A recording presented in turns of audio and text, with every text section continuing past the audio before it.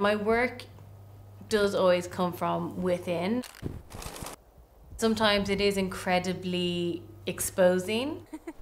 like the blood drip earring I did just after my daughter was born. I am a more reserved private person. I want the work to explain itself. You also end up hiding behind your work. In life there's there's tension, mm. you know, for everybody.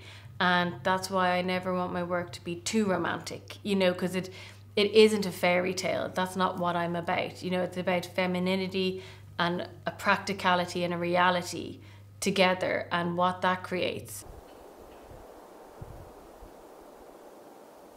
My first show was um, in Waterloo Station, in like on an old platform that was out of use, and was like the start of my journey as a designer. I wanted it to be like really, really pure, so I kind of wanted to show it in this idea of white.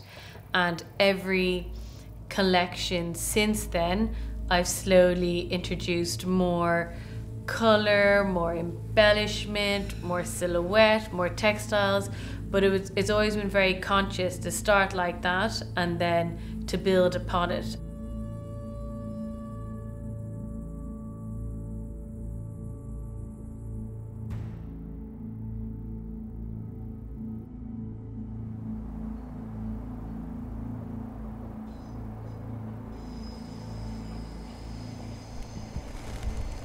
When it comes to physicality of something in nature inspiring my work, it often would come more from less foliage and more flowers, and it's looking at how they can be very delicate, let's say like a garden rose, but then garden roses have really, really thick thorns. And you know, for me, there's a fragility and there's also almost like a poison, and that can influence my work. Like, I want the garments to have a femininity, but then also a strength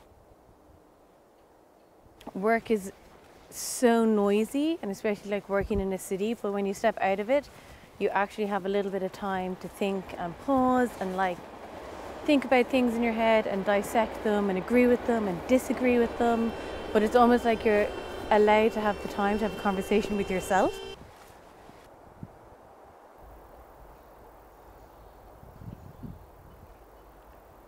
If it wasn't found itself that wind is raising the sea and there was a star up against the moon, and it rising in the night. If it was a hundred horses or a thousand horses you had itself, what is the price of a thousand horses against a sun where there is one sun only? They're all gone now, and there isn't anything more the sea can do to me. In the big world, the old people do be leaving things after them for their sons and children, but in this place, it is the young men to be leaving things behind them, that to be told. Hmm, when did I read it? I can't actually remember where I read it first. It's been with you a long time. Yeah. Though. Yeah. One of those. Yeah, because so, I've always been interested in the Aran Islands and their traditions, etc. So. What about them? Well, like my my first collection I did was um, based on their mourning traditions, where the women used to, when they were in mourning, would dye their petticoats red and wear them on their head as veils mm. uh, as their sign of mourning. They chose red. Why didn't they dye them yeah. black? Well, I think obviously it was done with natural dyes, so it was probably yeah. done with berries, and it couldn't couldn't be black. Probably red was, I assume, as dark as you could go.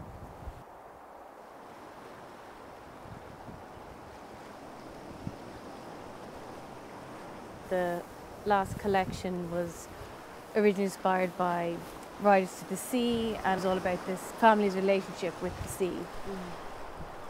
The actual girls walking in the show had this real feeling like they'd just come in from the sea, you know, and they were almost like being washed up to shore. And then on the actual show day, Storm Ciara was in London and everyone came in soaking wet. And it was kind of amazing. It was like people had been dragged in from the sea to see it.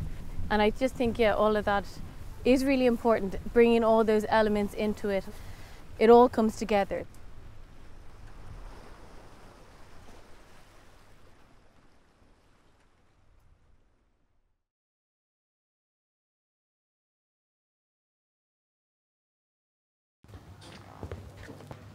I'm not a designer that, you know, sets a big design brief or does loads of mood boards. It's always like a conversation and it's it's a conversation at the beginning of the season which is always a reaction to the show that just happened. So, after a show, it's like uh, I go to sleep the next night. I wake up in the middle of the night and I think of everything for the the next collection it's like this weird allergic reaction to like what has just happened and and then i that's what i start talking to my team about straight away writing is a big part of my process. Even though i don't sketch a lot i do a lot of writing. Often what i would do is look at an image and then like this is an old encyclopedia of needlework. And then i like to do i do a lot of contrasting between like like historical processes and like this is a, an old way of learning to crochet for example. And then i think how can i manipulate this work in this crochet and then if, if it wasn't on the flat because these bodies are so round how can we do it in the ne- uh, in the round? So that's kind of like very much like how i work. Usually papers and boxes and loads of stuff lives on the desk but because this comes out sooner than the collection comes out. We don't want to share anything. And naturally, I'm a really private person. So, like, when it comes down to this, it's like, it all, it all gets tidied away, which I know is no crack for you guys. I like to put a lot of humor into my work even to the point that privately what within the studio we, we call things you know like it's the vocabulary of it being like you know the baby egg dress or the cherub is the fat baby. And you know we have all these names that we all think is normal because then I'm like this is the fat baby. And then everyone you say to the outside world and they're like what? They're like no it's an embroidered cherub. And I'm like oh yeah it's an embroidered cherub. The ideas often come to me outside of the building and then when I come back into the building, it's all about okay, how can I translate that? And is it it's through fabrication, it's through textiles, it's through conversation. So it's physical and it's also communicative.